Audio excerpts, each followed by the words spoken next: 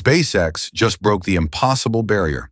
They landed the Falcon Heavy Center Core, the rocket piece that's crashed and burned every single attempt for seven years. While Blue Origin can't even land one booster, SpaceX just mastered the hardest landing in spaceflight. This changes the entire space race. But here's the real question. How does this secret technique now make Starship unstoppable?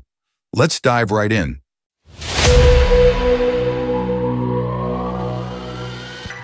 Here's what makes this recovery absolutely mind-blowing. The Falcon Heavy Center Core isn't just another rocket booster. It's a completely different beast. Think of it like this. If a regular Falcon 9 booster is a sports car coming down the highway, the center core is a loaded freight train screaming through at 5,000 miles per hour while literally on fire. This thing weighs 20% more than a regular booster. It has reinforced tank walls, extra structural supports, and attachment points that completely change how it behaves during reentry. When it separates from the side boosters, it's still carrying momentum from the entire Falcon Heavy stack. That means it's coming down at six to seven times the speed of sound, over 5,000 miles per hour, while the air around it turns into plasma hot enough to melt steel. But here's the killer problem. To slow down from those insane speeds, it needs to burn massive amounts of fuel, the same fuel that could be used to carry heavier payloads to orbit. It's like trying to save money while spending twice as much. That's exactly why SpaceX gave up trying for seven years. Let me paint you a picture of just how impossible this seemed. Since the very first Falcon Heavy flight in February 2018, every single center core ended the same way. Boom, fireball, ocean grave. Mission after mission, SpaceX watched their most expensive piece of hardware, worth about $28 million, disappear into the Atlantic. The side boosters? Those landed like clockwork because they're basically identical to proven Falcon 9 boosters. They separate early, have manageable re-entry speeds, and follow well-understood flight profiles. But that center core was cursed. It stayed attached longer, burned hotter, came down faster, and required precision that seemed to defy the laws of physics. Engineers at NASA called it the impossible landing. The math just didn't work. How do you catch something moving faster than a bullet while it's surrounded by plasma that would vaporize most materials?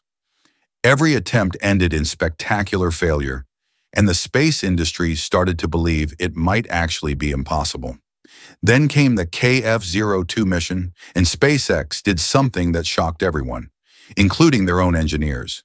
Instead of using B-1091 as a center core in a full Falcon Heavy configuration, they completely reimagined the mission. They stripped it down and flew it solo as a Falcon 9.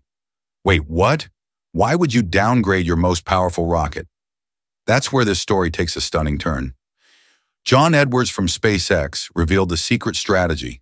This wasn't about downgrading anything. This was about proving that their most complex hardware could be transformed, reused, and perfected in ways nobody thought possible. B1091 wasn't retiring after this mission. It was just getting started on a journey that would rewrite the rules of rocket reusability. Here's exactly how they cracked the impossible code. When B1091 began its entry burn, veteran SpaceX watchers noticed something extraordinary. The burn started at 4.1 kilometers altitude instead of the typical 3.2 kilometers for regular Falcon 9 missions. That extra 900 meters might not sound like much, but it represents a complete revolution in landing technique.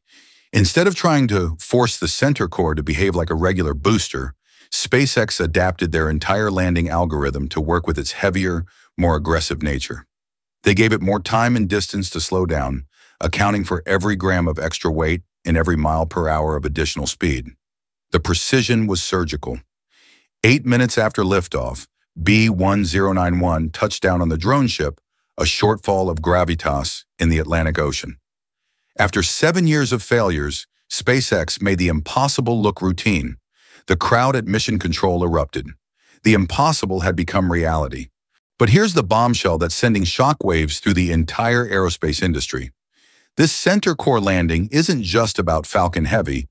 It's about proving that SpaceX can master the most difficult spacecraft recovery scenarios imaginable. And that has direct implications for the future of human space exploration. When Starship eventually returns from Mars missions, it will face similar challenges. Extreme atmospheric entry speeds, intense heat, precision landing requirements with minimal fuel margins. The techniques SpaceX just perfected with B-1091 are the exact same principles they'll need for interplanetary missions. Every failed center core landing over the past seven years taught them something crucial. Every explosion revealed a weakness in their algorithms. Every impossible challenge became a stepping stone toward making humans a multiplanetary species. NASA engineers are stunned because they realize SpaceX just solved problems that NASA has been struggling with for decades. While SpaceX celebrates this historic breakthrough, their competition is in complete panic mode. Blue Origin finally launched New Glenn in January 2025 after years of delays and billions in development costs. The result? They reached orbit but completely failed to land their booster. Jeff Bezos watched his first attempt at something SpaceX has now done over 500 times. Think about that for a second. SpaceX just landed the most difficult rocket recovery ever attempted, while Blue Origin can't even manage basic booster recovery. The gap isn't just widening, it's becoming a chasm that may be impossible to cross. Rocket Lab is still experimenting with parachute recoveries like it's 1960, Stoke Space pushed their first orbital launch to 2026.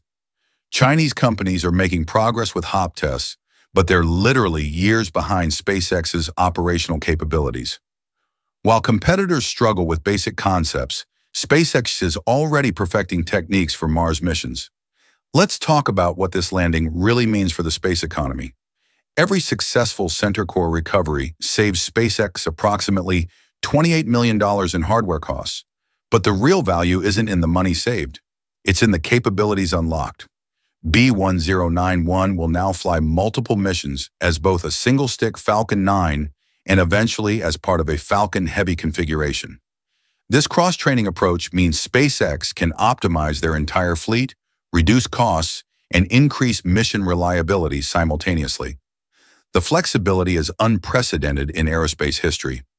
Need to launch Amazon's Kuiper satellites? Use the center core as a Falcon 9. Need to launch a massive payload to deep space? Reconfigure it for Falcon Heavy. Need to test new landing techniques? Convert it back to single-stick mode. One piece of hardware, infinite possibilities. But here's the most shocking revelation that's making aerospace experts lose sleep. This center core breakthrough directly accelerates Starship development in ways that will leave NASA and international space agencies scrambling to catch up. The same fuel management techniques, precision landing algorithms, and heat shield innovations that made B-1091's landing possible are being integrated into Starship's flight control systems right now. When Starship attempts its first crewed mission to Mars, it won't be flying blind. It'll be using battle-tested technology proven on the most challenging rocket recovery ever attempted. The center core landing wasn't just a milestone, it was a Mars mission rehearsal. Every second of flight data from B-1091 is feeding directly into Starship's development, making humanity's journey to Mars not just possible, but inevitable.